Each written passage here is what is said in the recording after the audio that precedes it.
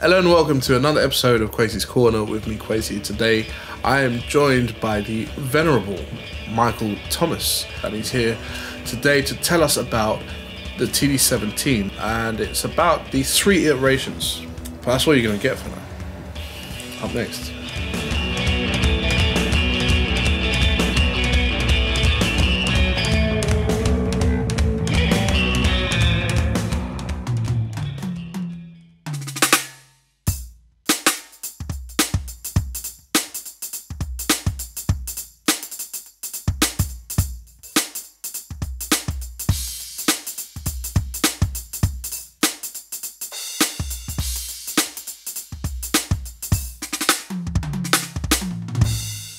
So, Michael, what is your role with Roland? So my role with Roland is to essentially look after V drums for the whole UK. Okay. So that means uh, TD drum kits, things like SPDSX, things like hybrid products, and it's to uh, bring that to the masses. Okay, so you you go basically up and down the country teaching plebs like us how to uh, how to better control our kits and, and get the best out of them. Pretty much, yeah. Get the best out of them is the the main thing. Nice, Yeah. nice. So today we have three iterations of the kit that we're talking about, two of which are in store.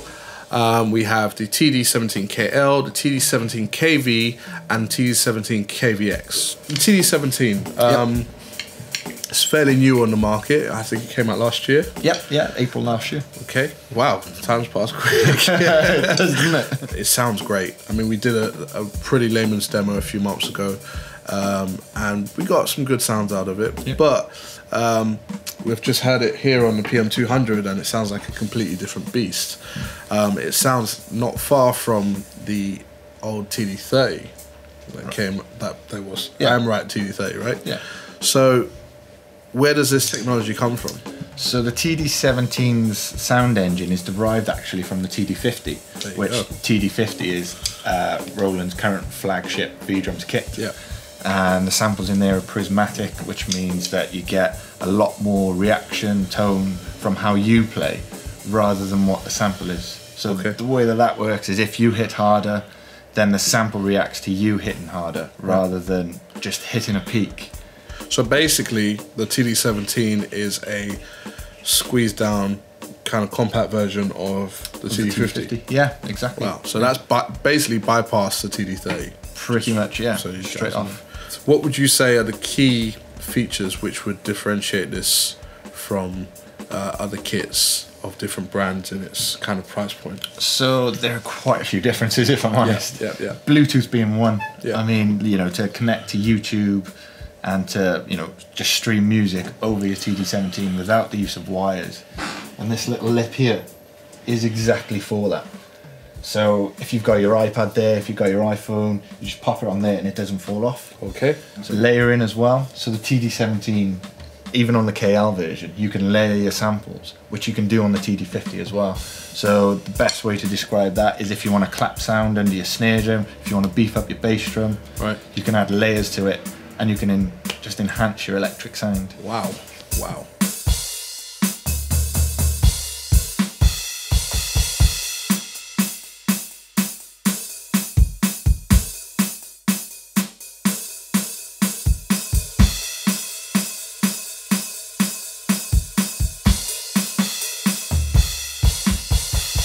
Okay, so 17KL is really for the person who's you know not really interested in Bluetooth, may not even have a Bluetooth phone, for example. Right. You know, you can still connect your phone or laptop up and play your favorite songs to it via the mix input on the back. Right. Um, it's got rubber pads, which some people prefer to mesh heads, really. Um, but you still get a mesh head snare, for, you know, for the, the real feel. Cymbals are basic cymbal as well, but I mean for around an eight hundred pound price mark. What would you say about the pads that are provided with the CD, TD17KL? So with the TD17KL, they've been slightly adapted. Right. The, the material's been slightly changed, Yeah. but you know they still react and feel great. They're not as hard as uh, as back in the day. Yeah. definitely not. Definitely not. If you felt like you're hitting pieces of slab or something, I don't know. Who would you recommend this to if, uh, like, say, for instance, a, a kid or uh, someone who's getting the first electronic kit? Yeah, first electronic kit for a TD17KL would be incredible. I mean, like, even though you, you don't have the Bluetooth, you still have the layering capabilities that the 17kV KVX has. Mm-hmm. The only thing you're downgrading for really is the pads. Indeed. Um, and is that that's upgradable over time, right? Exactly, yeah. Okay. You can you can upgrade all the pads over time. You could upgrade to a 17kVX if you really wanted to. Okay. Okay, so next up we have the TD17KV, Yep. uh, which is the next level up, the mid. Yeah. What do you call that? The Mid-range. Mid, the mid-range Mid-range. version of the TD17s. Yeah. Um, what does that feature, and who would that appeal to? So firstly, the big difference in that is Bluetooth. Right. Um, so the 17kV module now has Bluetooth. Right. um, which obviously means you can connect your iPhone, your Android phone wirelessly to your module Indeed. and stream the audio through into your speaker, your headphones, whatever Mm-hmm. you've got connected to it. The other difference between the 17KL and the KV is the mesh pads. So, like we mentioned with the KL, some people aren't bothered, but a lot of people are. Yeah. So the mesh heads feel more like an acoustic drum head. You can tighten, you can alter the tension of them. So you've got PDX8s, and they've been on Roland kits for a good while. Yes. Yeah. Um, but with the upgrade, the KV, you get this snare as well. Can Yeah. you tell us a bit more about it? Yeah. So the snare is a PDX 12. It's 12 inch, Right. and the guys in Japan they measured the rim of over 100 snare drums, and so this rim is the average uh, size of all those snare drums. Well, So the, the the time and effort that the guys in Japan take on V drums kits is, is quite something. so is that available separately if someone wanted to upgrade Yes. from the TD KL? Yeah. Yeah. There isn't actually any other feature on the KL and the KV that is different, so you get the same kick pad across the whole range, which is the new KD10. Uh, the FD9 with the 17kV and the 17kVL is also the same. Okay. It's uh, a quieter design than the the previous FD8, Yep. um, and they come with the same cymbal pads as well. Okay. So yes, I remember the FD8 did make quite a bit of noise. Yeah. Uh, that's the. Uh, is that both pedals? The FD8, or is it's just the hi hat pedal, right? Just the hi hat pedal, yeah. Yeah, that, that, that made that kind of clicking noise that, Yeah. that got to me. but uh, okay, so they're a lot quieter. Mm-hmm. Um, and for those of you who stamp, um, this works quite well, would you say? Yeah, yeah, it works perfect. I'm the total opposite to you. I play heel up. There you go. So uh, yeah, it works well for me. All right, so next up we have uh, the TD17KVX, Yep. which is the big boy of the situation.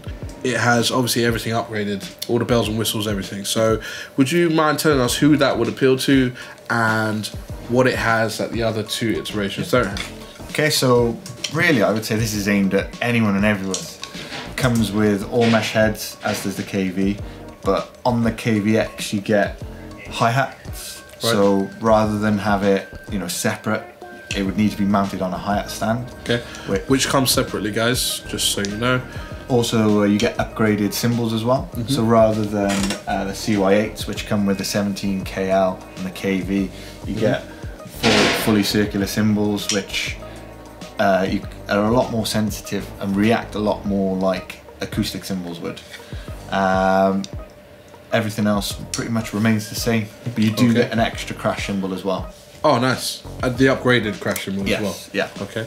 The difference between CY8s and the ones that you have there are quite significant in terms of sensitivity, etc. Yeah, I'd say that. Yeah, I mean the biggest difference you'll notice is the ride cymbal. So the ride cymbal it gives you the bell sound as well. Right. So whereas the CY8s it does pick up uh, around near the bell where a bell sound would be. Yeah. But on the CY13R, um, you do get a particular bell shape. Okay. And when you strike that area, a bell sound will will play. Indeed. Indeed.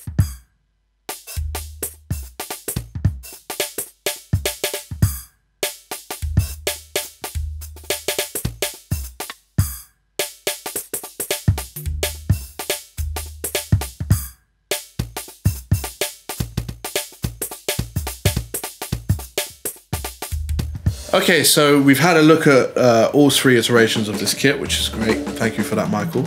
Um, and hopefully now we have uh, a better idea of what we would be going for, um, uh, according to which price point suits us and for what use. I mean, I know what I would want to go for, but what I could afford may be totally different. So these things are to be taken into consideration. Um, but like I said, that's just me.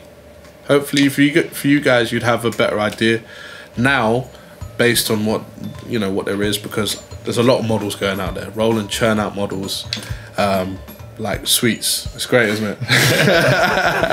Hopefully, Michael's given us uh, a really good account of um, what there is, so you can make an informed decision uh, going forward and uh, for the next purchase of your electronic kit, whether it be the first one that you have ever or an upgrade.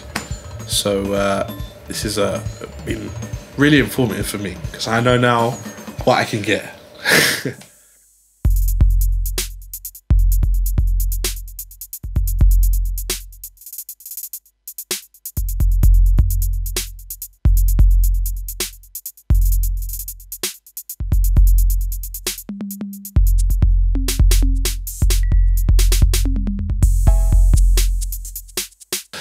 And thanks for watching. Uh, we hope you liked what you've seen here. We hope whatever you have seen here about the T17s has been useful. Thanks again to Michael for coming along. Thanks Thank for you. having me. And uh, please do like, subscribe. Let us know what you think um, of this video. Is the TD17 KL relevant to you? Or is it the KV or is it the KVX? What do you think right now, based on your current situation, would work for you? Let us know in the comments below, and we'll be sure to get back, unless you're a troll.